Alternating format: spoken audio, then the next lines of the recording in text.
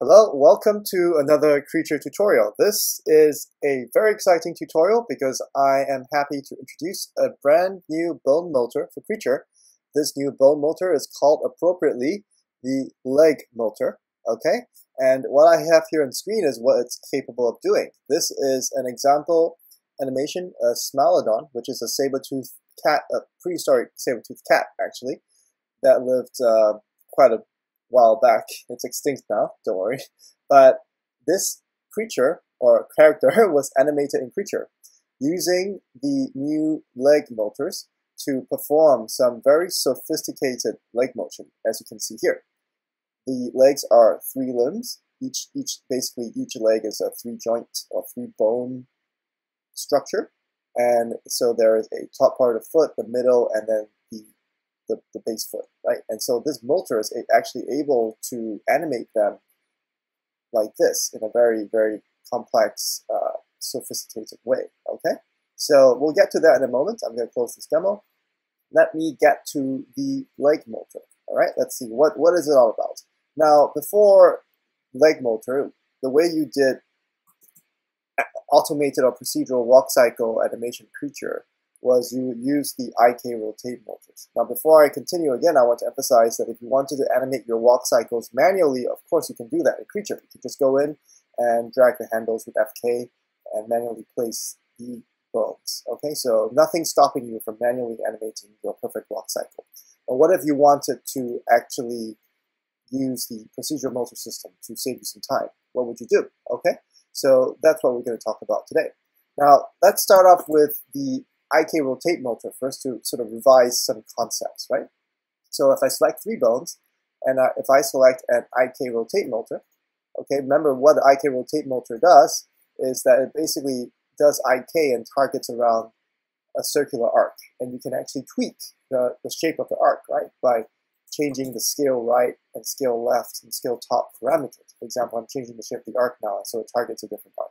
Okay, so that's kind of interesting. That's cool. But unfortunately, there's only so much an IK rotate motor can do if you want to, especially if you want to animate a more realistic or more sophisticated limb motion. Because in a limb motion, the top two joints might behave somewhat like IK, maybe, but the bottom foot normally twists and lifts up in a different way. Okay, so let's try the new motor. Let's try the new leg motor. So click on install motor and now click leg motor.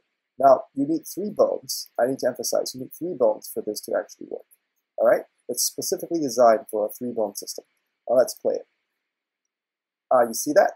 So now you get a nice leg motion almost for free already. You can see the foot actually lifts and then lands naturally. It actually bends and then lands on the ground just like a real foot. Okay? Okay, so how the controls work? It's actually really simple to use. Actually, actually, you've seen that I just selected three bones and installed them. So let me bring up this diagram first. This is the leg motor. Okay, the leg motor essentially has two states.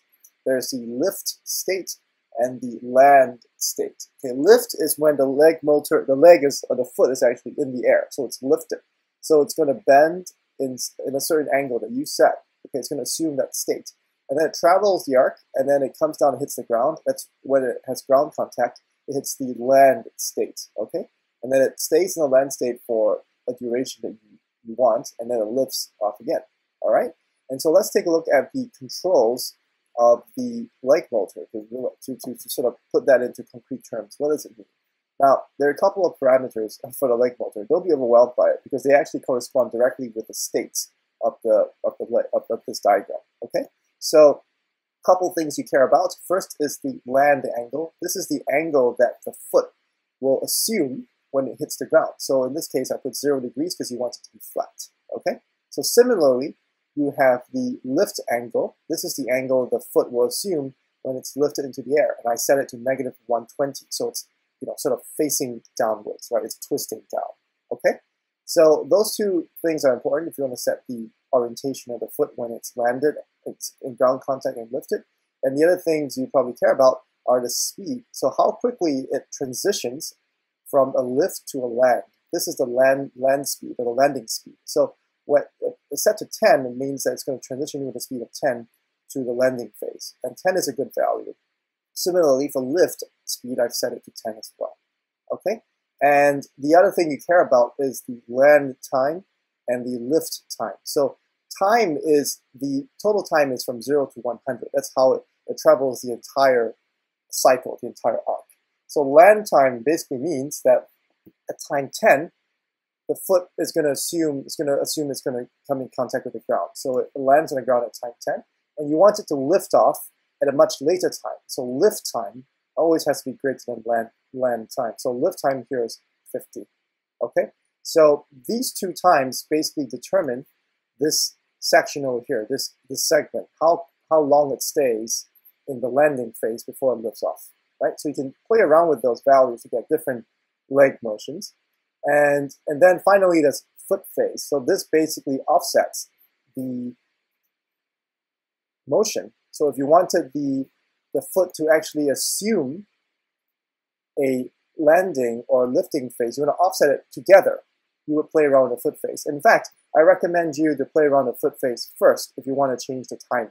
Okay? By default, it's 30, but you can try different values. Like if you try 50, let's see what happens. You see, now it lifts up because it's closer to the landing time. right? So by playing around the foot phase, you can foot phase, you can basically change the timing of and or style of this foot. Okay, so let's set it back to 30. All right, that's what we had before. Okay, and then let's do it for the other foot. We'll do the same thing. Leg motor. All right, and let me lift it up just a bit. All right, so now they're in unison. Now we want to make them out of phase, remember? Because we want, we want a, a walk cycle.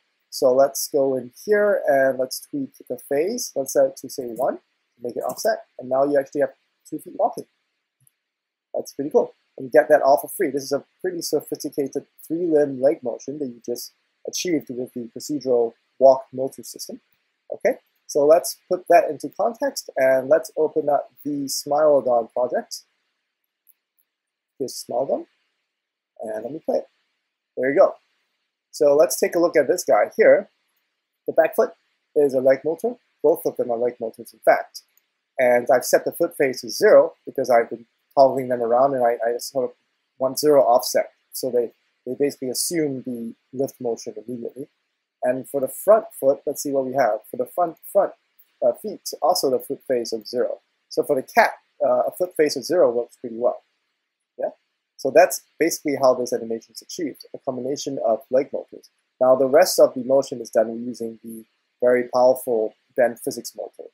The tail is actually done with the, oh, let me stop it. Okay, the tail is actually done, there it is too. The tail is also done with the bend physics motor, that's how it actually bends, okay? And the front of the neck also has a bend physics motor with a rotate cycle at the base driving it. So it sort of wobbles the head, and the head itself has a stiffness, so it sort of loosens up the head and reacts like muscle. That's basically how this entire motion is achieved. Okay? All right, so thanks for watching this, this tutorial, and I hope you have fun with the new walk motor.